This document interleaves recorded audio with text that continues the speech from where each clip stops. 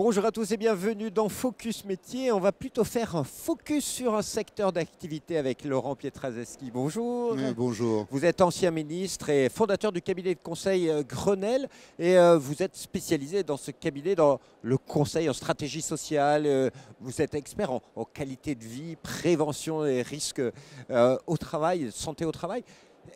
En matière de service à la personne, est-ce qu'aujourd'hui le secteur ne serait pas le parent pauvre en matière de prévention Parce qu'on a des travailleurs isolés et il y a des vraies difficultés à un moment donné dans sa carrière. C'est vrai, alors vous, vous démarrez fort en parlant de parents pauvres, mais c'est vrai d'abord que si on regarde juste les chiffres de la sinistralité, on a une sinistralité très importante, trop importante, je dirais même, dans ce secteur. Rendez-vous compte, elle est trois fois supérieure en matière d'accidents du travail hein, et de maladies professionnelles, trois fois supérieure à la moyenne. Elle est même supérieure du tiers à ce qui peut exister dans un secteur comme le BTP, où, là, assez spontanément, on pense tous qu'il y a plus d'accidents du travail euh, dans le BTP que euh, dans le secteur du soin à la personne. Ce n'est pas le cas. Donc, regardons d'abord les chiffres et posons-nous cette question. Comment on peut à la fois faire baisser ce nombre d'accidents du travail eh bien, je crois que la réponse, vous l'avez donnée à votre question, c'est-à-dire par une action de prévention. Et, là, euh, sans parler de parents pauvres, on peut dire qu'on n'en fait pas assez. On n'en fait pas assez parce que c'est l'organisation et le modèle économique, parce qu'on a des entreprises qui sont euh, un petit peu éclatées, c'est des petites agences, même si c'est des grands groupes, euh, et les, salariés sont souvent isolés, c'est difficile de suivre les salariés. Quand on est aide ménagère, euh, aide à domicile ou assistant familial, on est tout seul à un moment donné. C'est vrai, il y a des spécificités dans l'exercice des métiers. Et d'ailleurs, vous les avez bien décrits. Il y a d'abord le fait qu'on est souvent seul. euh, et, et effectivement, on sait que travailler en équipe, c'est aussi une forme de protection, notamment par rapport à certains risques, parce qu'on peut en termes de manutention, s'appuyer sur un collègue. Euh, quand on est tout seul, ce n'est pas le cas, mais c'est d'ailleurs le cas aussi en matière de risques psychosociaux où travailler en équipe permet d'éviter un certain nombre de risques parce qu'on peut parler d'une difficulté qu'on rencontre. Donc, euh, oui, les spécificités euh, du métier, sans aucun doute, expliquent une part de cette sursinistralité. Et donc, ça veut dire que là, déjà, on voit les pistes peut dégager en matière de prévention. Euh, dans l'analyse des activités, on sait très bien que si on laisse une personne seule déplacer une personne âgée qui parfois est en surpoids ou dans une situation un peu difficile, eh bien ça va a priori occasionner des risques et parfois même des difficultés de santé pour celui ou celle qui est en charge de. Donc ça veut dire il faut être capable de dire à un moment donné on projette plus de salariés sur un site pour accompagner une personne.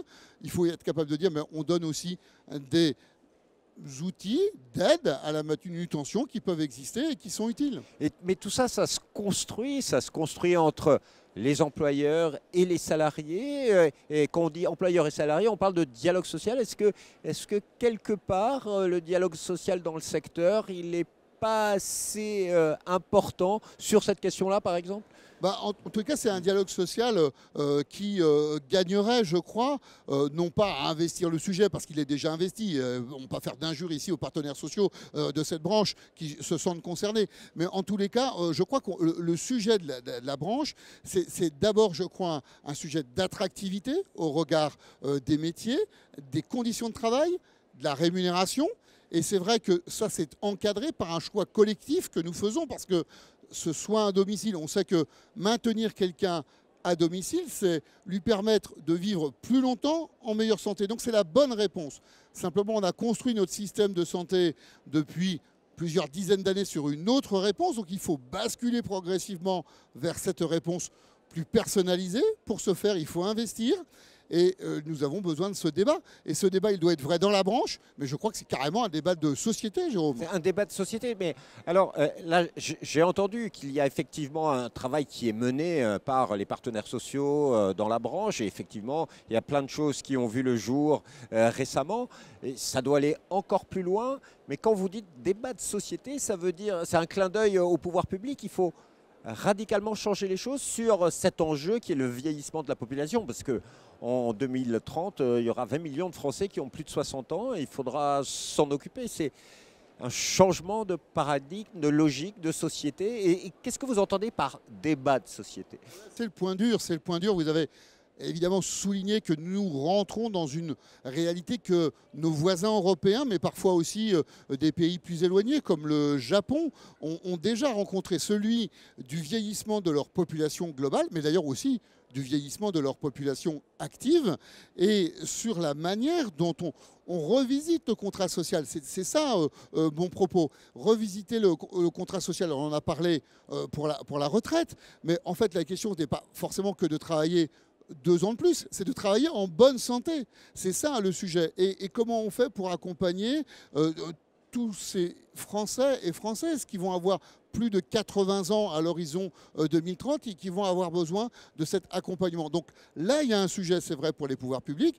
On a eu des rapports, le rapport de Dominique Libaud qui s'interrogeait sur la façon dont on devait financer notamment ce, risque de dépendance. Mais globalement, moi, je, veux élargir ce sujet. La dépendance, ce ne sont pas que les seniors, ça peut concerner euh, tout le monde.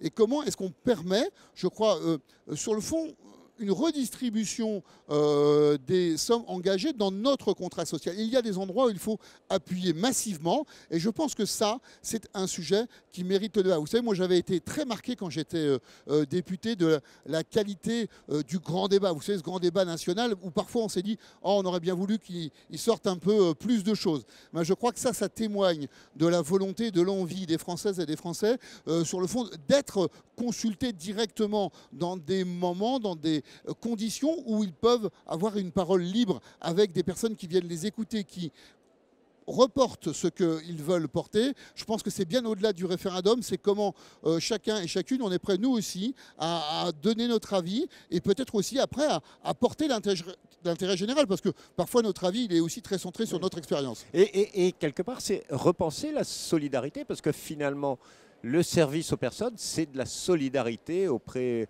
de nos euh, personnes âgées, mais aussi des personnes en situation de handicap. C'est repenser la solidarité dans notre pays. Oui, en tous les cas, il, faudra qu'on y prenne le chemin. Euh, il faut qu'on se repose ces questions-là euh, et puis qu'on accepte le débat budgétaire qui va avec. Vous que là, c'est deux choses qui frottent, hein, parce que parfois on est, on est d'accord quand il s'agit de réfléchir, on l'est moins quand il s'agit de dire comment on paye et qui va payer, puisque on a toujours envie que ce soit l'autre qui paye. Hein. Moi, je préférais que ce soit vous et vous préfériez que ce soit moi. Bon, donc et puis il y a toujours plus riche que nous. Vous savez, on dit il n'y a, qu'à demander aux riches, mais on riche par rapport à qui Par rapport à quoi? Donc on a euh, besoin de, de, ce débat, et puis on a besoin, je crois, de réorienter euh, nos politiques en la matière. Euh, et, en, matière de santé, on sait aussi, ça coûte beaucoup moins cher de maintenir euh, les personnes à domicile que de les hospitaliser. Et ce sont surtout de très beaux métiers qui recrutent. Qu'est-ce que vous avez envie de dire, ceux qui nous écoutent, sur euh, allez-y vers ces métiers qui euh, sont formidables, qui sont euh, vraiment au cœur des relations humaines et qui aident énormément de personnes. Bah, vous avez dit beaucoup, Jérôme. D'abord, vous avez rappelé, ce sont des métiers où on s'intéresse aux autres. Ou sur le fond, si euh, quand le matin, on a besoin d'un peu de lumière et se dire, mais pourquoi j'y vais ce matin J'y vais pour aider euh, cette dame que l'on va retrouver peut-être pour son petit déjeuner à 8h30, ce monsieur à qui on va faire de la lecture, euh, cette personne qu'on va aider pour sa toilette. C'est ça la réalité de ces métiers-là. Et, et c'est vrai, moi je reconnais que c'est un don de soi, mais c'est vrai aussi que ça apporte beaucoup. Parce que là, pour le coup, lorsque vous rencontrez, et, euh, je le fais régulièrement, des, salariés dans des entreprises qui se posent la question, mais, pourquoi je viens faire ce job dans telle industrie, euh, dans telle euh, entreprise, voire même administration? Et bien là, ils savent tous et toutes ce à quoi ils vont être exposés pendant cette journée, mais surtout ce que ça va leur apporter. Merci infiniment pour votre témoignage, Laurent Pietraszewski. Alors, si vous voulez être conseillé euh, par le cabinet, un, une adresse euh, internet grenelle.fr. Et quant à nous, on se retrouve bientôt pour un nouveau Focus Métier. Au revoir.